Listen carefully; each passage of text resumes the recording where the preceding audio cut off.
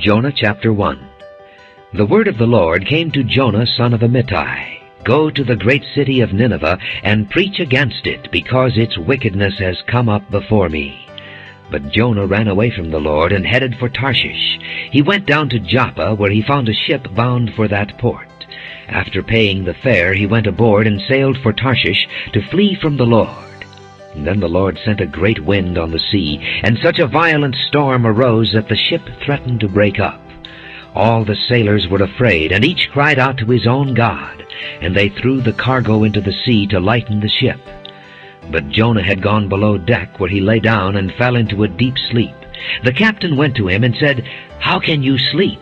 Get up and call on your God. Maybe he will take notice of us, and we will not perish. Then the sailors said to each other, Come, let us cast lots to find out who is responsible for this calamity.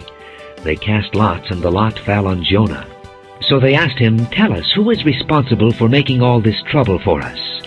What do you do? Where do you come from? What is your country? From what people are you?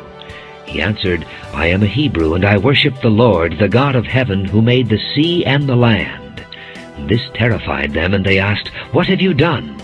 They knew he was running away from the Lord because he had already told them so. The sea was getting rougher and rougher, so they asked him, What should we do to you to make the sea calm down for us? Pick me up and throw me into the sea, he replied, and it will become calm. I know that it is my fault that this great storm has come upon you. Instead, the men did their best to row back to land, but they could not, for the sea grew even wilder than before. Then they cried to the Lord, O Lord, please do not let us die for taking this man's life. Do not hold us accountable for killing an innocent man, for you, O Lord, have done as you pleased. Then they took Jonah and threw him overboard, and the raging sea grew calm. At this the men greatly feared the Lord, and they offered a sacrifice to the Lord and made vows to him. But the Lord provided a great fish to swallow Jonah, and Jonah was inside the fish three days and three nights. Jonah chapter 2 From inside the fish Jonah prayed to the Lord his God. He said, In my distress I called to the Lord, and he answered me. From the depths of the grave I called for help, and you listened to my cry. You hurled me into the deep, into the very heart of the seas, and the currents swirled about me. All your waves and breakers swept over me. I said, I have been banished from your sight, yet I will look again toward your holy temple. The engulfing waters threatened me, the deep surrounded me. Seaweed was wrapped around my head. To the roots of the mountains I sank down. The earth beneath barred me in forever. But you brought my life up from the pit, O Lord my God. When my life was ebbing away, I remembered you, Lord, and my prayer rose to you, to your holy temple. Those who cling to worthless idols forfeit the grace that could be theirs. But I, with a song of thanksgiving, will sacrifice to you. What I have vowed I will make good. Salvation comes from the Lord. And the Lord commanded the fish, and it vomited Jonah onto dry land. Jonah chapter 3 Then the word of the Lord came to Jonah a second time. Go to the great city of Nineveh, and proclaim to it the message I give you. Jonah obeyed the word of the Lord and went to Nineveh. Now Nineveh was a very important city. A visit required three days. On the first day Jonah started into the city. He proclaimed, Forty more days and Nineveh will be overturned. The Ninevites believed God. They declared a fast, and all of them, from the greatest to the least, put on sackcloth. When the news reached the king of Nineveh, he rose from his throne, took off his royal robes, covered himself with sackcloth, and sat down in the dust.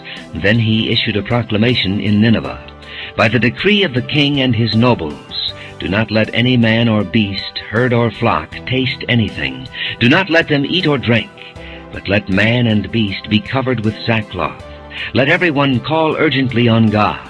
Let them give up their evil ways and their violence. Who knows? God may yet relent, and with compassion turn from his fierce anger, so that we will not perish. When God saw what they did and how they turned from their evil ways, he had compassion, and did not bring upon them the destruction he had threatened. Jonah chapter 4 But Jonah was greatly displeased and became angry. He prayed to the Lord, O Lord, is this not what I said when I was still at home? That is why I was so quick to flee to Tarshish. I knew that you are a gracious and compassionate God, slow to anger and abounding in love, a God who relents from sending calamity. Now, O Lord, take away my life, for it is better for me to die than to live. But the Lord replied, Have you any right to be angry? Jonah went out and sat down at a place east of the city. There he made himself a shelter, sat in its shade, and waited to see what would happen to the city. Then the Lord God provided a vine and made it grow up over Jonah to give shade for his head to ease his discomfort, and Jonah was very happy about the vine. But at dawn the next day God provided a worm which chewed the vine so that it withered. When the sun rose, God provided a scorching east wind, and the sun blazed on Jonah's head so that he grew faint. He wanted to die and said, It would be better for me to die than to live. But God said to Jonah, Do you have a right to be angry about the vine? I do, he said. I am angry enough to die. But the Lord said, You have been concerned about this vine, though you did not tend it or make it grow. It sprang up overnight and died overnight. But Nineveh has more than a hundred and twenty thousand people who cannot tell their right hand from their left, and many cattle as well. Should I not be concerned about that great city?